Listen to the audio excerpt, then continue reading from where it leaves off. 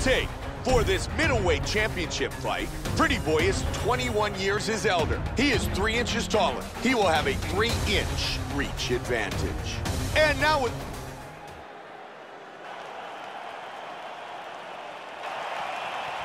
Bazooka. Pretty Boy. Ready. And here we go. The middleweight belt is on the line. Tonight's main event of the evening is scheduled for five five-minute rounds. Good one-two by Pretty Boy. Joey did a nice job blocking that punch. Welcome to the jungle. Continuing to land his strikes. Good jab by Pretty Boy. Boom, right on the button. Another big shot to the head by Stewart. He misses with the jab. Big right hand. Kick. with the kick. Hard jab. Powerful strikes. Oh, look at that. Hard straight punch. Teeing off. A flurry of big punches. Oh. I like that, Mike. I like how he's mixing it up. Oh, he's landing at will. Oh! Wow! Back up.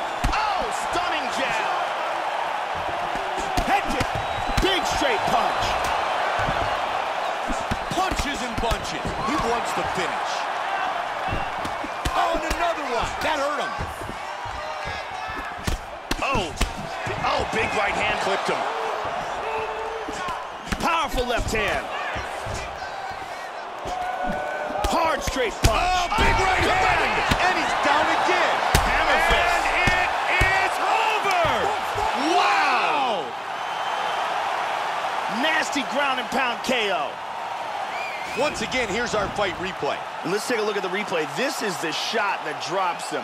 Perfect technique. He's clearly in big, big trouble. Let's take a look at it one more time. Here's the knockdown. Vicious strike. Check out this angle here. Boom! And he's out. And now with the official decision, here's Bruce Buffer. Ladies and gentlemen, referee Herb Dean has called a stop to this contest at 2 minutes, 52 seconds of the very first round.